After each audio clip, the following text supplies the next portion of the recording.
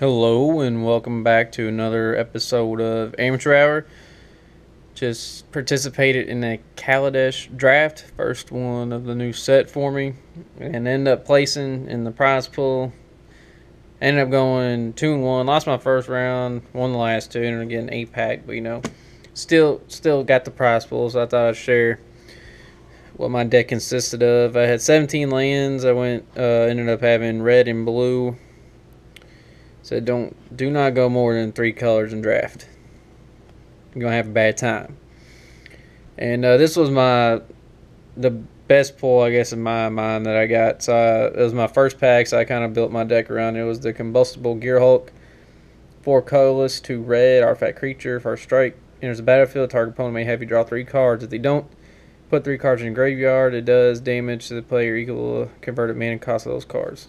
I ended up getting that able to work for me one time.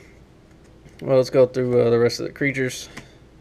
Got a thriving turtle, minister of inquiries, consulate skygate, speedway fanatic, spireside infiltrator, Janjeet sentry, windrake, brazen scourge, weldfast monitor, spontaneous artist uh, going back to this real quick, I always like in draft pump cards, just be able to like pump for. Windrake had pump for game flying, and this one has menace.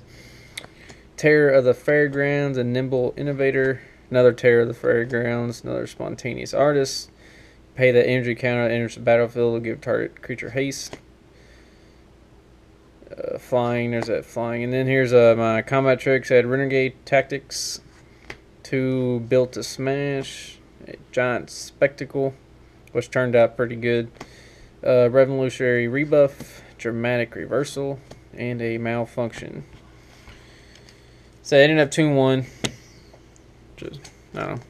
I always make the prize pull, that's good. So let's see if I got anything good.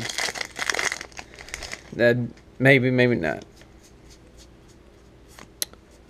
Oh, there we go Dovin Baan, two colorless, uh, white and blue Planeswalker.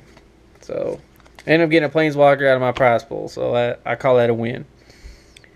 Thanks for watching. Uh, don't forget to enter the contest for the uh, eight booster pack giveaways for the booster packs openings of Kaladesh.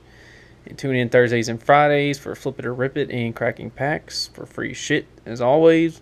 Thanks for watching, and we'll see you next time.